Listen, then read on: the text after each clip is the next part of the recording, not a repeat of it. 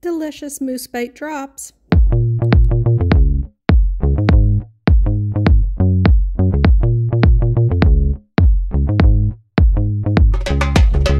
Are you looking for a quick and easy holiday treat that's ready in 10 minutes, requires no cooking and no baking? and no special appliances. Well, have I got one for you? All it requires is a little chopping.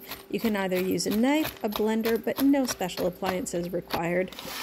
For this recipe, almonds work best, but you can substitute it with walnuts, cashews, or even pecans. Next, I added in some pumpkin seeds, which gives it a great crunch, and of course, Rice Krispie cereal. Time to break up some amazing dark chocolate. If you like it a little bit sweeter, then use a little bit of milk chocolate and or white chocolate.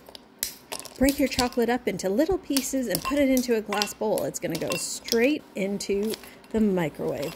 You can chop it as well instead. Once it goes into the microwave, set it for 30 seconds. If it's a little bit hot, make sure you use an oven mitt to pull it out of the microwave.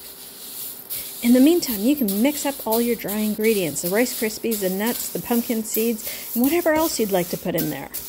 Now, this is super important. Once it comes out of the microwave, take the time to stir it for a good minute to a minute and a half. Put it back into the microwave for another 30 to 40 seconds and you're going to mix it again for another two to three minutes. It might look like it's not melting initially, but give it a hot second. Keep stirring and look what it turns into. It literally melts right in front of your eyes. Now it's at the perfect consistency. It's time to drizzle this milk chocolate, dark chocolate, white chocolate, whatever chocolate you've used, melted chocolate right into your dry ingredients. Don't worry too much about where it lands because we're going to mix it right all up. Using nothing more than a fork or a spoon, start mixing it all together until just about every piece of ingredient in there is coated with a light coating of the chocolate. Because the chocolate's still kind of melted, it won't really stick all together. Put it on a lined baking sheet that has either parchment paper or a silicone pad and just let it rest for a good hour. If not, put it in the freezer for 10 minutes. And then you have these amazing moose bites.